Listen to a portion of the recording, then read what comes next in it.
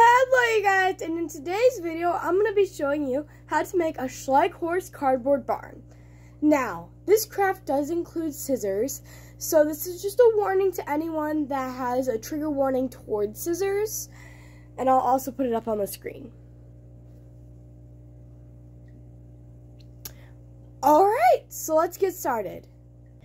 You will need a piece of cardboard, scissors, a hot glue gun, glue, stick glue preferably, a Schleich horse, a marker, any kind, does not have to be Sharpie and it does not have to be a black marker, and a piece of paper.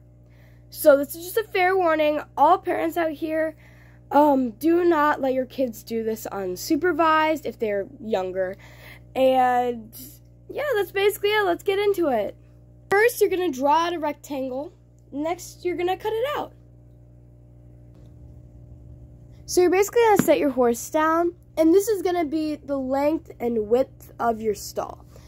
I think I want to put my stall, hmm, hmm, this is a toughie. I think I want to make it here.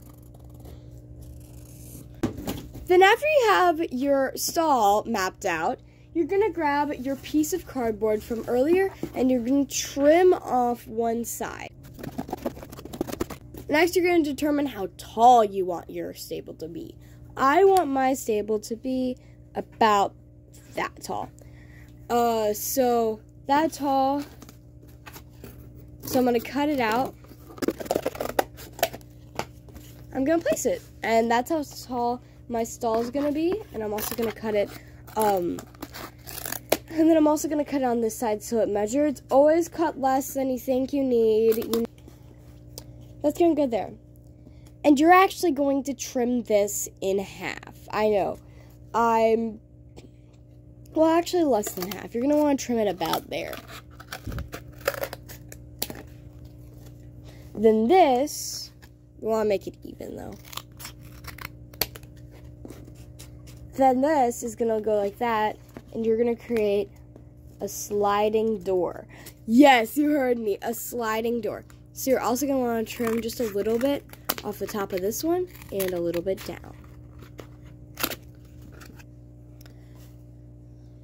Once you have your two pieces, then you're going to want to cut even more off these. And you're going to want to just cut all the sides off. I'm not even joking. It might take a second, but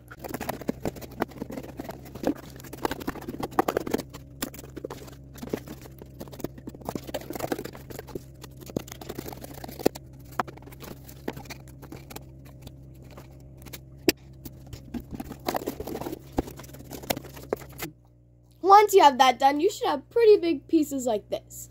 You're going to glue them on the edge of your little rectangle here, but leave one side open. The, the side opposite from your stall. After you've done that, you are going to put one piece here, the piece that you made before. You're going to put it there. Second piece, I think this goes up, hold on. And you're gonna have a sliding door, so this is gonna go like this. And this one's smaller than that one. Wait. Nope, I was right. So you're gonna glue only this one down, alright? Next, you're gonna take a small piece of cardboard and smush it, and then fold it till it looks like a circle. Something sort of like this. And you're gonna do this twice. And you're gonna glue this part and this part together. This will be your door and you're gonna glue both of these things that you just made on the top, like this. I'm gonna take a pipe cleaner and thread it through all the way. And you're gonna glue the pipe cleaner right there. So it's like, so it's sort of on the top, like that. There you go. You have your stall. Now let's move on to the name tag. For the name tag, you're going to cut a thin piece of cardboard.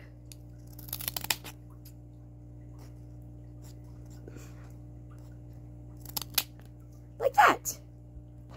Next, you're going to cut out a piece of paper to match the size of your piece of cardboard. Next, you're going to glue your piece of paper to your piece of cardboard. Then, with your, with your marker, you're going to draw a cool design on it, like this.